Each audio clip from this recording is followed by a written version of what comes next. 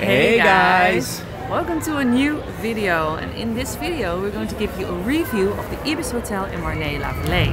Yeah, we stayed there in a weekend that we tried three different hotels in one weekend and the other hotels we're gonna show you on a later date. So in this video you will see a review of the Ibis Hotel Marne-la-Vallée uh, but while I was trying to edit this video something uh, came up. It wasn't that easy. There's somebody at home who would like to tell you something about that. So hey guys, sorry to interrupt already at the beginning of this video, but I'm editing Elisa and I've got something very important to tell you because when I was starting to edit this video, I thought it would be fun to show you guys a map on where you can find this hotel. Now when we went to the Ibis Hotel, I told Sven that I've booked this hotel because it was just outside of the ring of Disneyland Paris. Now the crazy part was that when we wanted to go to the hotel, we typed in the address and we had to take the highway and it was a 30 minute drive at least to get to the hotel. And I didn't understand anything about it because I could swear that I booked a hotel near Disneyland Paris. So what was up with that? Well, after some research, I found out that there's not one Ibis hotel in Marne-la but there are several. There are at least six hotels that are all in the neighborhood of Marne-la-Vallée and Ibis also promotes them like that. Now this is where the confusion begins because we booked a hotel in Marne-la-Vallée but that's of course a very big region so this was far away from Disneyland Paris. I looked at the hotel that I thought that we booked and I looked it up on Ibis and that's where the confusion gets even worse. On the Accor Hotel website, they claim that this hotel is located just outside of the ring. They even show an image of Google Maps where you can see it for yourself. However, when you type in this image in your own Google Maps, you will find a very different address. It will take you on a 15 minute drive at least to get to your hotel. So it seems that not only the website is confusing because there are so many hotels within the Marne-la-Vallée area, but they also mix up addresses, so you really have to be careful which hotel you're booking because you never know where you're gonna end up. Now when I looked on Google Maps to see what hotel is actually on that specific uh, location, I found out that that's the Ibis Budget Hotel and not the Ibis Hotel that we booked. So that explains a lot of the confusion. So now that I'm talking to you anyway, we can tell you that we used a certain system to grade the different hotels. So we are talking about what we think about the staff, what we think about the room in total, square meters, but also the bed and all the extras. So now that we've got all this out of the way, without any further ado, let's continue this video and we will start at the Ibis Hotel. hotel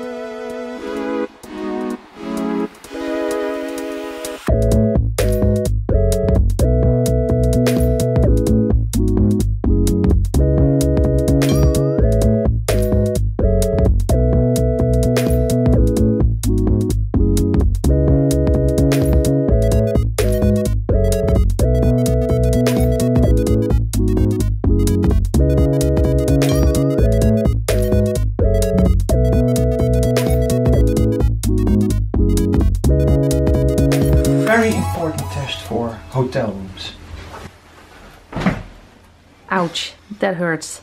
It's stiff, sturdy. The window opens? Yes, it oh. opens. Oh, hey. It cannot be fully open because they locked it? Yes, they locked it. Yeah. This is the view. Good morning. This morning, guys. uh, it's early and uh, well yeah the first night was here at the Ibis Hotel in Marne-la-Vallée. Point number one, what did you think about the staff and our welcome here in this hotel?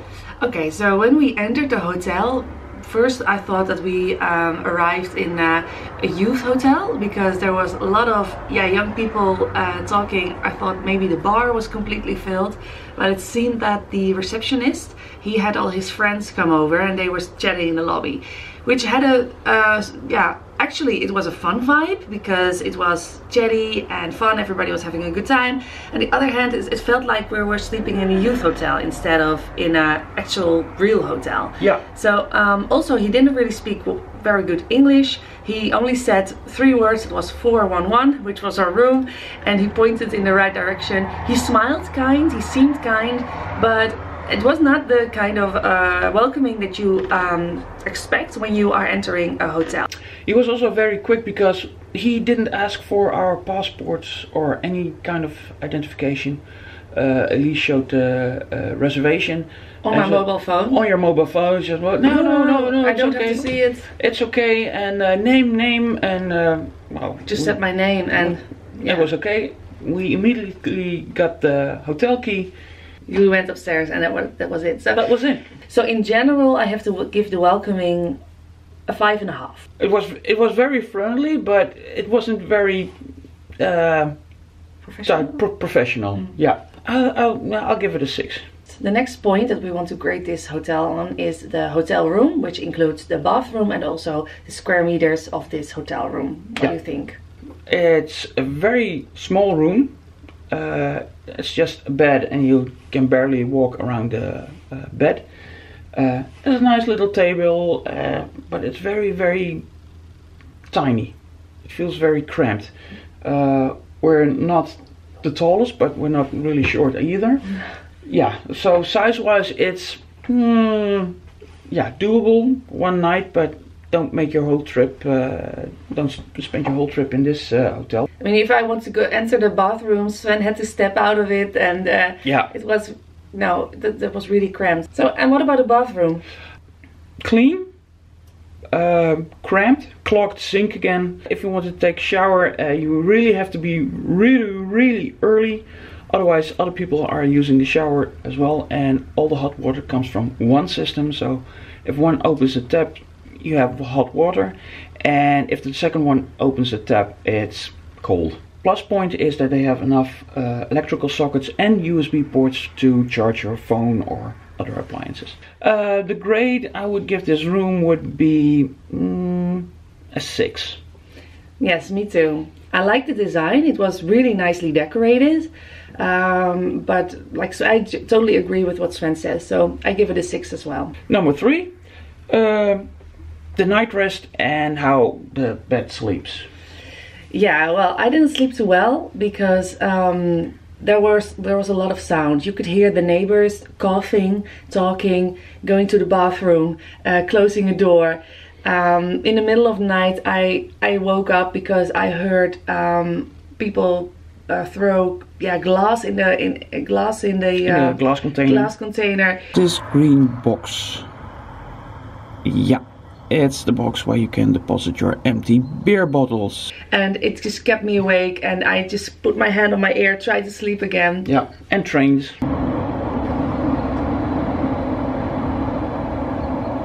And on the top of it, then we also had the air conditioning, which was it was very warm in this room, and the air conditioning once in a while it just turned on and it was yeah it wasn't it wasn't really getting cold or anything. It was just it made a lot of noise and that was it. So i don't understand why we have an air conditioner here and it's too bad that this window cannot open uh, wider than it can because it would have been nice. But on the other hand, we would have more. We would have had Yeah. more noise. We- If yeah, you if you would stay on the other side, it would be better, I think. It would be better. You would still have noise of uh, the the guests next to you in in uh, adjacent rooms, but you wouldn't have as much noise from the trains and traffic. when you want to book this this uh, uh, hotel, um, take a room on the other side. I totally agree. That will help. Yeah. And what about the bed? Well, for us the bed was narrow and um, short.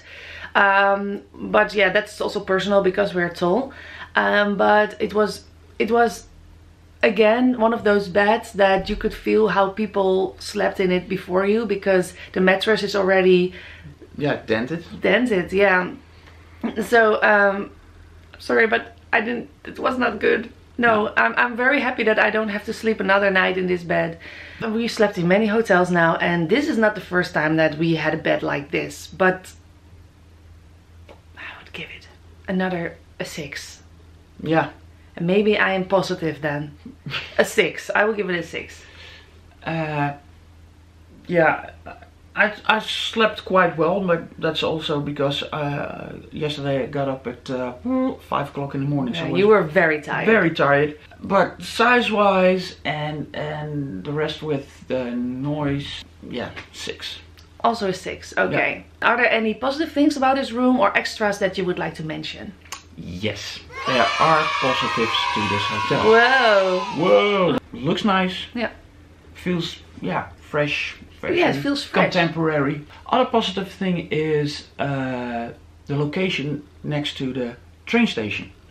Yes, it is a downside because of the noise, but it's also positive. Yeah. yeah, yeah. It's uh, uh, I believe it's one train stop away from Disneyland Paris. So what you can do is drop your car here at the hotel, It's free parking, which Free is also parking. positive. and you can take the train into Disneyland Paris. So yesterday we couldn't see this, but I've got my bearings now. Uh, the building that you see in the middle of the screen, that's the train station of Marne-la-Vallée, or at least where we're staying, yes. And that will get you into Disneyland Paris in a jiffy.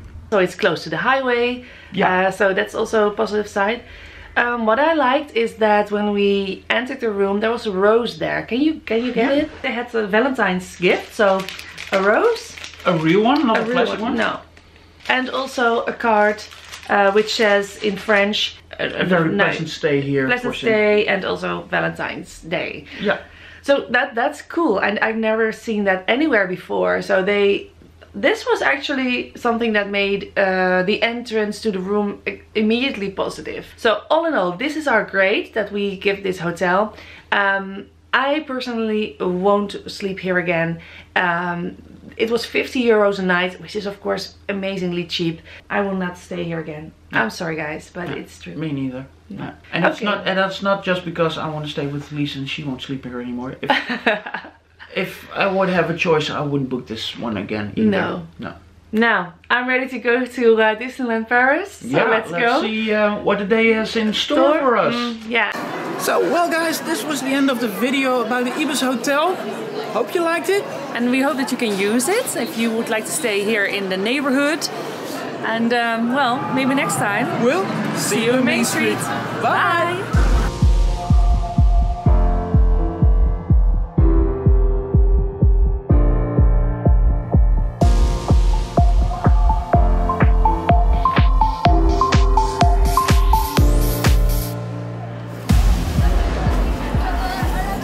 You're still here? It's over. Go home.